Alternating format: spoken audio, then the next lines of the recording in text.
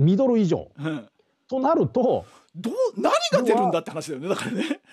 もうだから結局の残ってるのなんて S の後継機と、うん。あとは74の後継機いわゆる、えーっとナンバリングオンリー、まあじ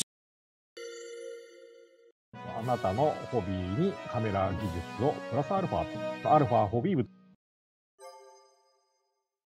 ぱり他社機がやっぱりハイスピード機がやっぱりね画素数あるじゃないですか。もう待ったなしだよね。だから Z9 と Z8、まあ R3 はちょっとあれだけど、うん。まあもうこれも話しましたけど結局もう画素数ね画素数高くてハイスピード機じゃないともう満足できない人たちになっちゃったんだよねみんなね。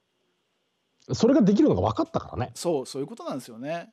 うん、分かっちゃったんですよ。うん。で Z9 はあの金額であの画素数であのハイスピードプリを達成しちゃってるわけじゃないですか。だから少なくともそこに肉薄してない限りはあのあの金額で戦えないわけですよね、うん。要は。じゃあ93がじゃあ2400万画素据え置きでシャッタースピードも速くなってコマ数も速くなって、えーその代わり、えー画素数は据え置きなんだけども値段が30万円で出しました。これは戦えると思うんですよ。うん。ありえない ありないないないない絶対ない。ありえないですよ。ありえないけど、でも極端な話はそういうことなんですよ、うん。要は。うん、なので、93が今のステータス、う要は金額のグレードとしてのステータスを維持、もしくはもう一段階上に上げようと思ったら、画素数をアップするっていうのは、もう必須条項なわけですね、ねここは。ぶっちぎりのハイスピードでもね、画素数少なかったらピきっとみんな満足しないと思うよ俺。が買わないです、うん。買わないです、えー買わないです、はっきり言って買わないです。うん。じゃあ、ぶっちぎりのハイスピードで、その画素数をそのままで何を取るんだって話ですよ。そうもう今日やっぱりそうクロ2400もうしてるの当たり前じゃないですか。じゃあ野鳥を取る人が2400万画素で、うん。それを取ってクロップしたらもう大変ですよ。もう終わります。はい。したらみんなアルファ1買うよ。アルファ1買うよ結局。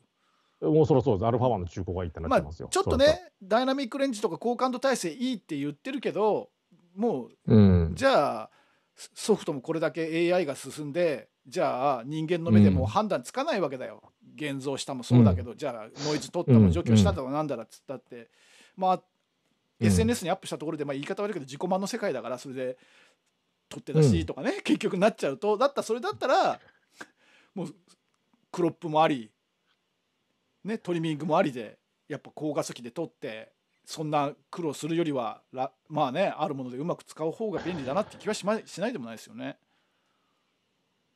そう。クロップっていうのがね、そのとかトリミングっていうのが、まあ。まあ、さっきも委員長ねおっしゃったことを僕ちょっと重複しちゃいますけども、うん。やはりそこに対してねノーだと。うん。おかたくなに言うう方と層がいるのも当うん。然それは理解できるんで、それはそう当然そうなんですが、うん。だけどやはりそうじゃない人たちっていうのも増えてきてるのも現実なんですねこれまた。うん。それやっぱりまあ今回のね、まあ、6000万画素6100万画素のカメラを使ったクロップうん。トリミング見ちゃったりするともう明白なわけですよそれは。うん。うん。まあ、そういった意味で言うともう画素なんていうのは、まあ、現実的なレベル画素画素としてあったらあっただけいいと。うん。いう形になるわけですね。うん。じゃあ例えばじゃあ α9-3 がまあないけどないけど例えばじゃあ仮に6000万画素で出たとしましょうか。うん。ね、で、えー、例えばじゃあこれで20コマ。うん。だとしても僕は結構そこそこ売れちゃうと思いますよ。い。やー売れると思います20コマでよも。売れますよ。20コマでもね。30コマで達成してなくてもうん。20コマでも多分売れると思います、僕は。うん。まあ20コマありえんけどね。うん。うん、絶対ありえんけどね。当然上げてくるのは、うん。もう予想できるわけなんですが、うん。ただそれぐらい上げてきてでもソニーの場合は厄介なのがその上のさらに長兄がいるんで兄が、うん。アルファ1っていうお兄さんがいるわけじゃないですか。うん。でそのお兄さんの分はやっぱりダンパーとして残しとかなあかんわけですよ。もうあいつはトップグレードとしてもうトップオブトップとしてアルファ1っていうのは君臨させないかんっていうもうメーカーとしての当然命題があるわけなんですけどもあのそこまでやっちゃならんという形なんですよね。うん、くしくも同じハイスピード機なんですよこの2台っていうのは兄弟がね。うん、長男と次男が似てるんですよ特性が。でそこのところまあソニーがどれぐらい要は割り振りするのかなっていうのは見どころなんじゃないかなというふうに思いますね。なんでこの9-3のスペックが確定した瞬間に、えーやっぱり仮想アルファ1マーク2が、えー始動すると、ね。皆さんの妄想の中で。